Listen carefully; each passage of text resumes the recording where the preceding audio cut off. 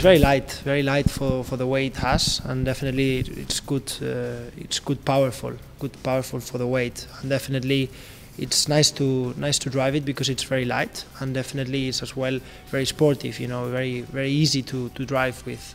You can feel on the corners that the, the car is, is very consistent and it's it's quite stiff as well, and it gives you this this feeling of, of, of driving a sports car. You know, it's it's really good. Uh, that's what I think Seat makes the difference with other cars that you can feel the, the comfort, but as well the, the sportive side of the of the car.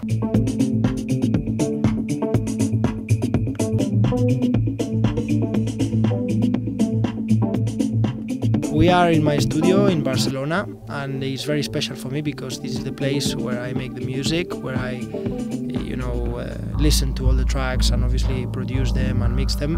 And it's very special for me because I spend a lot of time in here. It's one of the of those places where I spend most time, obviously enjoying music and, and producing a lot.